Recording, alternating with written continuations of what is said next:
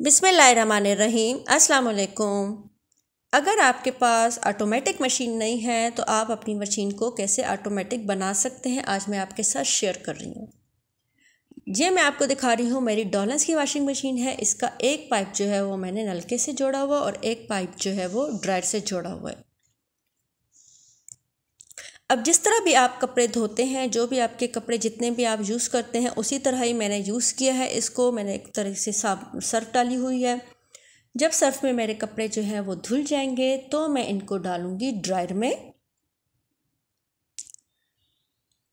Dryer को मैं खाली पहले एक दो मिनट चलाऊँगी, ताकि इनका जो सर्फ है, वो आराम से निकल जाए। फिर इसके बाद जो मैं आपको पाइप दिखा रही थी, मैंने फिर नल का खोल दूँगी, ये देखें।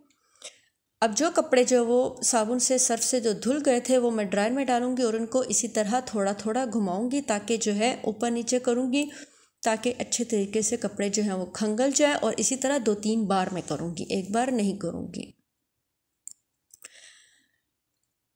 फिर इसके बाद मैंने जो है वो आपको दिखा रही हूँ, ये कपड़े जो है मेरे एक तरफ़ से इधर जो लॉन के कपड़े हैं तो पतले होते ज़ाहिर है अच्छे खासे कपड़े मैंने इसके अंदर डाल लिए हैं, लेकिन ये आराम से खंगल जाते हैं। फिर इसके बाद जो है मैं पानी जो है वो ड्रेन आउट कर लिया है और इसमें मेरी एक सिल्क सिल्क की बेडशीट है जो बहुत मोटी है और जो ड्रायर में आराम से नहीं खंगल सकती। इसलिए मैं उसको इस तरीके से खंगालूँगी। अब मैंने जो है वो इसके अंदर पानी डालूँगी उसी तरह और वो बेडशीट डाल दी है सर्फ डाल दिया है और इसको पंद्रह से बीस मिनट तक मैंने टाइमर चला दिया है।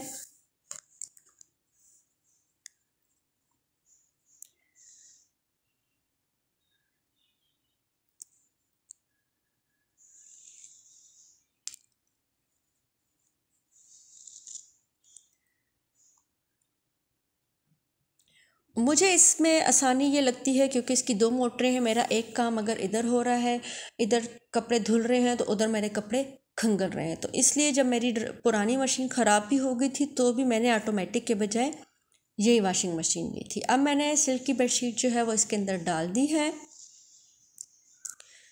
ये ऑफ़ वाइट कलर की है तो ये इसको जो है, वो मैंने पंद्रह के बाद ट्वेंटी मिनट्स तक और लगाया था, ताकि अच्छे तरीके से साफ़ हो जाए।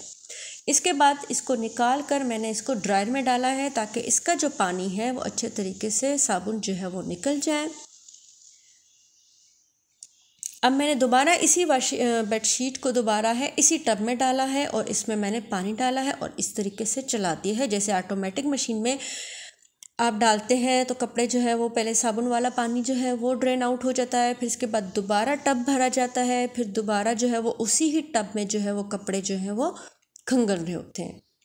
तो अब मैंने पानी डाल दिया है और साथ ही इसको दस मिनट तक के लिए चला दिया है ताकि अच्छे तरीके से इसका सर्फ जो है वो निकल जाए। अब ये मैं जो है ये मगरिब की अजान शुरू हो गई है तो मैं जो हूँ वो जा रही थी आपको दिखाया है कि नमाज़ पढ़ने जा रही हूँ।